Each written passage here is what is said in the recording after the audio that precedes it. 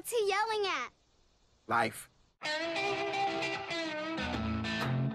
This might be a good place to write. You want me to write? Well, let's just start. Girls, it's not polite to stare. Fetch. I'm a big admirer of your work. Sometimes I want to pull my pants down. Join the club. There's more to life than the way you're living it. Stuff your ideas in the suggestion box on your way out.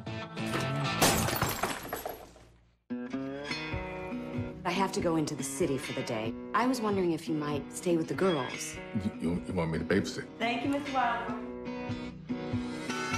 Who's up for some high stakes poker? I'll play. How much you got? Man, that was one hot lady. If she was my woman, I'd never let her leave the bed. Hey, you like magic tricks? And you make yourself disappear? Lovely day, Mr. Wildhorn. It's shaping up to be a considerably lovely day. Spot, that lady has a way of making me sit taller in the saddle. You seem different. You're not uh, yourself.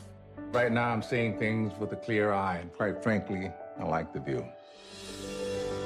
What do you want out of life, Mr. Wildhorn? I'd settle for more nights like this. There just might be something special about this place. We danced in the moonlight, held hands in the park. We strolled by the Buenos dias, senoritas. I don't know about you, but this music makes me feel like dancing.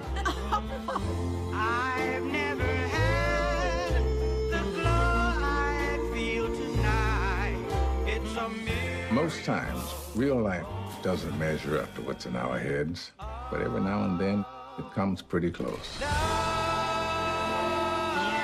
Fetch. I respect consistency. It's a miracle.